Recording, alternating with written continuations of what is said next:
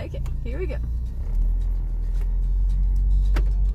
Going tractor supply. Going tractor supply.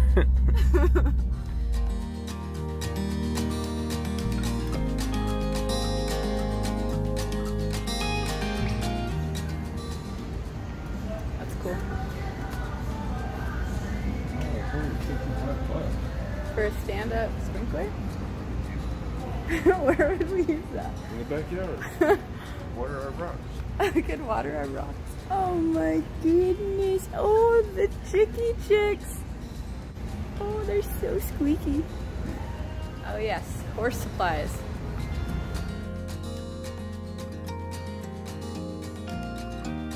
Alrighty, so I just need to get some, uh, what do I need to get?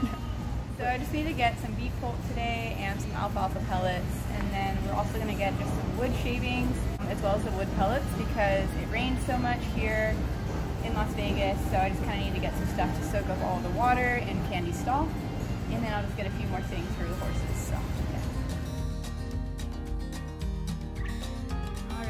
The kind of alfalfa I like to get. I also get the pelleted kind because it's a little smaller for horses to chew. I get the smaller one partially because Candy is a small horse, she has a small mouth, and she doesn't like to chew the really big alfalfa cubes. I think the pelleted ones also absorb water a lot faster, so if you're going to mix it with your beet pulp and you want it to get soft and you want it to absorb that water, pellets are just going to be a better choice. Alrighty, so this is the kind of beet pulp as well as the alfalfa that I like to buy. Lots of choices, but I actually just tend to get the cheaper one. I guess it's this one right here, the Standlee. I like to get the pelleted beet pulp versus the loose beet pulp just because um, the pellets have smaller flakes. And when you get the loose stuff, you get some really big chunks of the beet pulp and horses don't really like it and a lot of it ends up getting wasted. So something else that I also get sometimes if I'm really doing a lot of work with my horse and she might just need some extra calories, if I'm worried of her losing weight or just kind of not having enough energy for the workload, um, I'll also get some sweet cob.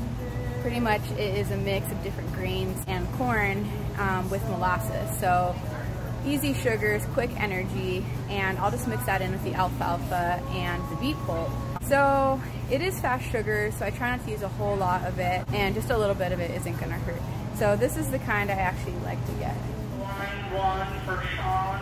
Line one for Sean. So I usually get the Producer's Pride Sweet Cob. Tastes good to me, the horses like it, and it lasts a long time. Alrighty. The other thing I came here today to get is uh, this product called SWAT. Pretty much it is a fly repellent for the horses. I think it works a lot better than just fly spray because you can really coat it on a sponge or just on your hands and then you wipe it onto the horses and it just makes um, a lot uh, bigger of a barrier to the flies than just spray does. So it's the thing that I have found works best to really keep flies off of the horses, especially if they've got like a wound that the flies are just attacking and they're swarming all over it. I found that flies won't even move if I'm spraying them with fly spray but they'll definitely move if I'm like uh, really gonna put some SWAT on there. So definitely recommend SWAT. I get the clear kind. If you get the opaque kind, your horse is just gonna be coated in this white oil. Alrighty, so this is the SWAT clear I get. You guys can see it's about $13. It lasts a long time, um, and I think it works really well. You have to keep it. Whoa. That looks crazy.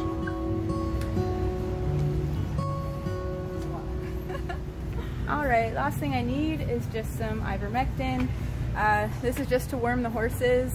Never really had a problem with worms um, with my horse, but try to do it pretty regularly um, just to potentially avoid colic. Pretty much that is when a horse is having some kind of pain in their gut, possibly small bowel obstruction, and it can get really severe sometimes. So I might actually make a video in the future of what colic is. I think that is like a big kind of mystery with horse people what colic actually is. It's a very vague term, but that'll be something for the future. But for now, I'm just gonna grab some ivermectin. I actually try to just get the cheapest kind. It's usually around $4. This is what they've got right now.